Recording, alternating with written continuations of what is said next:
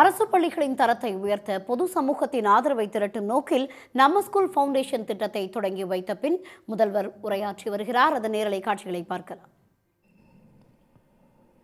அவருடைய நூற்றாண்டை நாம் இன்றைக்கு அரசின் சார்பில் மட்டுமல்ல தமிழருடைய உள்ளங்களிலும் இல்லங்களிலும் அந்த விழாவை கொண்டாடி கொண்டிருக்கிறோம். இந்த ஆண்டு அரசின் சார்பில் பல நிகழ்ச்சிகளை நாம் நடத்தியிருக்கிறோம் நடத்தி கொண்டிருக்கிறோம். இன்று காலை அவருடைய நூற்றாண்டு நிறைவை ஒட்டி நுங்கம்பாக்கத்தில் இருக்கக்கூடிய பள்ளி கல்வி இயக்ககத்துக்கு பேராசிரியருடைய பெயரை சூட்டி மகிழ்ந்திருக்கிறோம். பேராசிரியருடைய பெயரால் ஏற்கனவே ஏழாயிரத்தி ஐநூறு கோடி ரூபாய் மதிப்பீட்டிலான பேராசிரியர் அன்பழகனார் பள்ளிகள் மேம்பாட்டு திட்டத்தையும் செயல்படுத்த தொடங்கியிருக்கிறோம். அதன் தொடர்ச்சியாகத்தான் இன்று அவருடைய பிறந்த நாளில் அரசு பள்ளிகளை தனியார் பங்களிப்போடு மேம்படுத்தும் மற்றும் ஒரு முன்னோடி திட்டம் இங்கு தொடங்கப்படுகிறது. உங்கள் வாழ்க்கையில் மறக்க முடியாத காலம் எதுன்னு யாரை கேட்டாலும் அது என்னுடைய பள்ளி காலம்தான் என்று பலரும் சொல்வதை நாம் கேட்டிருக்கிறோம். பள்ளி பருவத்தில் துள்ளித்திருந்த அந்த காலத்தை தான் யாராலும் மறக்க முடியாது. அதேபோல் உங்களுக்கு நெருக்கமான நண்பர் யாருன்னு கேட்டால் பெரும்பாலும் பள்ளிக்கால தொடர்களைத்தான் நாம் சொல்வதுண்டு. நேற்று பார்த்தவரை கூட மறந்துடுவோம் ஆனால் நாம் குழந்தைகளாக இருந்தப்போ கற்றுக் கொடுத்த ஆசிரியர் பெயரை நிச்சயமாக நாம் மறக்க மாட்டோம். அவர்கள் முகங்கள் நமக்கு அடிக்கடி வந்து நிழலாடும். அந்த அளவுக்கு ஒவ்வொருடைய வாழ்விலும் வசந்த காலம் என்பது பள்ளி காலம்தான் நாம் இந்த அளவிற்கு உயர்வதற்கு இந்த உயரத்தை அடைவதற்கு உதவியாக இருந்தது அந்த பள்ளிக்கூடம்தான். அந்த பள்ளிகளுக்கு நாம் உதவி செய்ய வேண்டாமா? என்ற உன்னதமான நோக்கத்தோடு நம்ம ஸ்கூல் ஃபவுண்டேஷன் நம்ம ஒரு பள்ளி என்ற பெயரில் இந்த அமைப்பு தொடங்கப்பட்டிருக்கிறது. எல்லாவற்றையுமே அரசாங்கம் செய்திட முடியாது. மக்களும் கைகோர்க்க வேண்டும். பயன்பெற்றவர்கள் தங்களுடைய நன்றியின அடையாளத்தை தெரிவிக்கலாம். அதற்கான வாசற்படி தான் இந்த நம்ம ஊர் பள்ளி திட்டம். திராவிட முன்னேற்ற கழக ஆட்சி அமைந்து அனைத்து துறைகளிலுமே மிகப்பெரிய வளர்ச்சியை நோக்கி நாம் சென்று கொண்டிருக்கிறோம். நம்முடைய மதிப்பிற்குரிய வேணு சீனிவாசன் அவர்கள் இந்தியா டுடேயில் இந்த வாரம் வெளிவந்திருக்கக்கூடிய ஒரு கருத்து கணிப்பை சுட்டிக்காட்டி அதிலே தமிழகம் முன்னோடி மாநிலமாக இந்தியாவில் வந்திருப்பதை எடுத்து சொல்லி எனக்கு வாழ்த்து சொன்னார். பெருமைதான் எனக்கு. நீங்கள் மறந்திருக்க மாட்டீங்க. நாம் ஆட்சிக்கு வந்து திமுக ஆட்சிக்கு வந்து முதல் ஆண்டு இதே இந்தியா டுடே ஒரு கருத்து கணிப்பை வெளியிட்டுச்சு. அப்படி வெளியிட்டப்போ number one chief minister number one முதலமைச்சர் இந்தியாவிலேயே தமிழ்நாட்டுடைய முதலமைச்சர் தான் அப்படின்னு ஒரு கருத்து கணிப்பை முதல் ஆண்டு வெளியிட்டாங்க. அப்போ பத்திரிகை நிறுவனர்கள் எல்லாம் என்னிடத்துல வந்து கேட்டாங்க இதை எப்படி பார்க்குறீங்கன்னு? உள்ளபடியாக நான் பெருமைப்படுறேன். ஆனால் இதை விட எனக்கு என்ன பெருமை வந்து சேரணும்னா சேரணும்னு ஆசைப்பட்றேன்னா நம்பர் ஒன் சீஃப் மினிஸ்டர் என்பதை விட நம்பர் ஒன் தமிழ்நாடு என்று வர வேண்டும் என்று நான் முதலாண்டே தெரிவித்தேன். அதை இன்றைக்கு ரெண்டாம் ஆண்டை நெருங்கி கொண்டிருக்கக்கூடிய நேரத்தில் அந்த சூழலை இன்றைக்கு உருவாகி இருக்கிறது அதில் எனக்கு உள்ளபடியே பெருமை. அதற்காகத்தான் நம்முடைய வேணு சீனிவாசன் அவர்கள் எனக்கு வாழ்த்து சொல்லியிருக்கிறார்கள். அதேபோல் நீங்களும் இங்கே சொல்லிக் கொண்டிருக்கிறீர்கள். இன்றைக்கு பள்ளிக்கல்வித்துறையுடைய பணி மிக முக்கியமானதாக இருக்கிறது. தரமான கல்வி வழங்குவதில் இந்தியாவிலே தமிழ்நாடு இன்றைக்கு ரெண்டாவது இடத்தில் இருந்து கொண்டிருக்கிறது. முதலிடத்திற்கு முந்து உந்துவதற்கான எல்லா பணிகளையும் பள்ளி கல்வித்துறை இன்றைக்கு சிறப்பாக செஞ்சுக்கிட்டோம் செய்து கொண்டிருக்கிறது. அனைவருக்கும் கல்வி என்ற அடிப்படை இலக்கை மையமாக கொண்டு நம்முடைய அரசு செயல்பட்டு வருகிறது. இல்லம் தேடி கல்வி திட்டம் முழு வெற்றியை நமக்கு கொடுத்து கொண்டிருக்கிறது. செயலி மூலமாக பள்ளி செல்லாத பிள்ளைகளை பள்ளிக்கூடங்களுக்கு மீண்டும் அழைத்துக்கிட்டு வரக்கூடிய ஒரு சூழல் ஏற்படுத்தி இருக்கிறோம் எழுத்தும் இயக்கம் தொடங்கப்பட்டிருக்கிறது. மாதிரி பள்ளிகள் செயல்படுத்தப்பட்டுள்ளது. ஒன்பதாம் முதல் பன்னெண்டாம் வகுப்பு வரையிலான மாணவர்களுக்கு நான் முதல்வன் அந்த திட்டத்தின்படி பயிற்சி அளிக்க இணையதளம் உருவாக்கப்பட்டிருக்கிறது.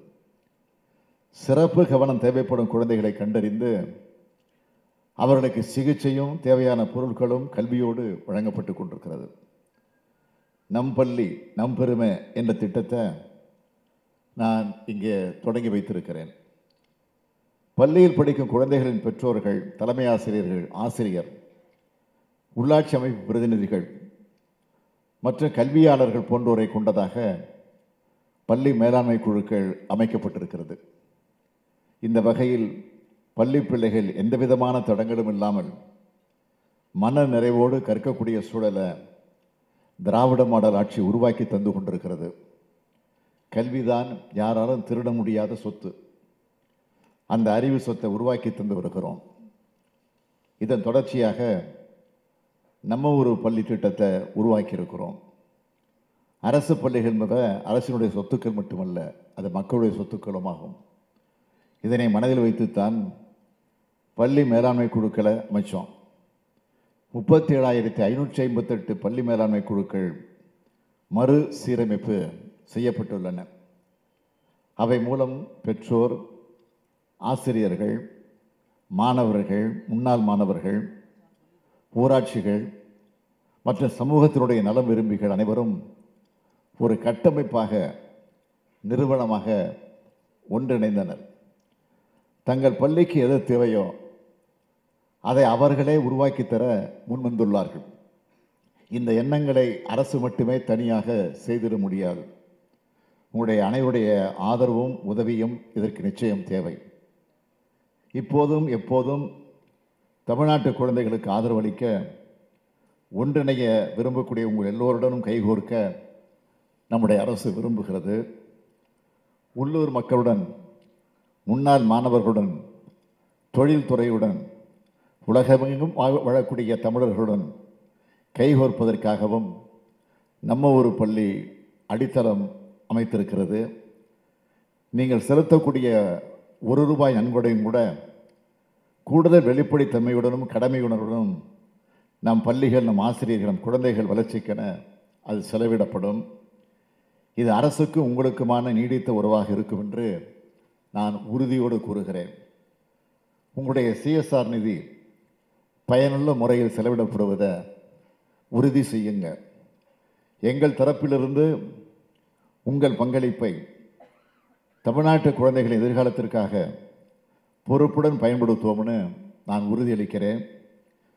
நம்ம ஒரு பள்ளி தொடங்கி வைக்கும் இந்த நேரத்தில் உங்கள் இளமை காலத்தில் நீங்கள் படித்த பள்ளிக்கும் உங்கள் ஊருக்குமான உறவை நாங்கள் அறிமுகப்படுத்தியுள்ள வர்ச்சுவல் பெவிலியன் வழியாக புதுப்பிக்குமாறு உலகெங்கும் வாழக்கூடிய தமிழ் மக்களை இந்த விழாவின் மூலமாக நான் கேட்டுக்கொள்கிறேன்.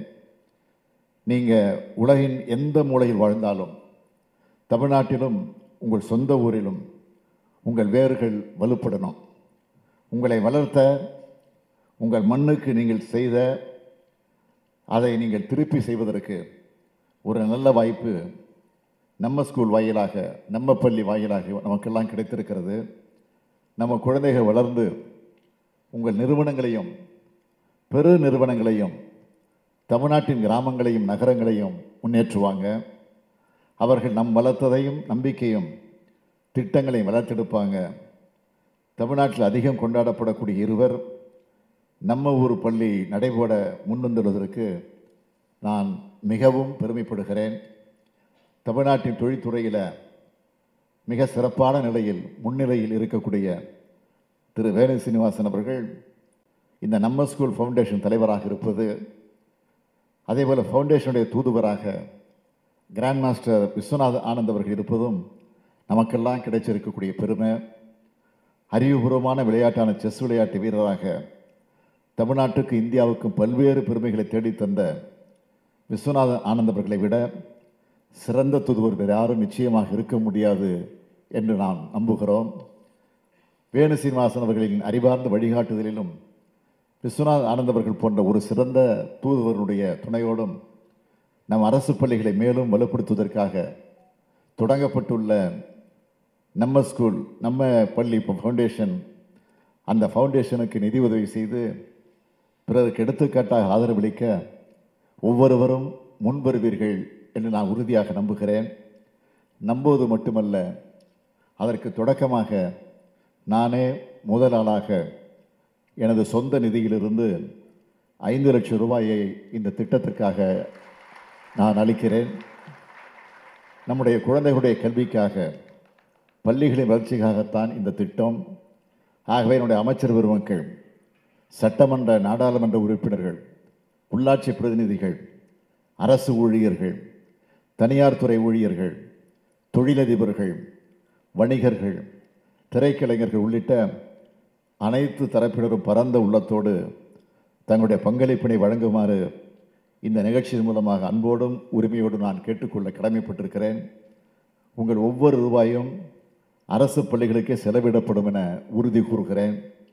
நம் பிள்ளைகளின் கல்விக்கென உங்களுடன் நிதி உதவி வேண்டி நிற்கும் இந்த கோரிக்கையை ஏற்று நம் பள்ளிக்கூடங்களை மேம்படுத்துவதற்காக வாரி வாரி வழங்கிட வேண்டும். அரசு பள்ளிகளின் தரம் உயர்த்துவோம்.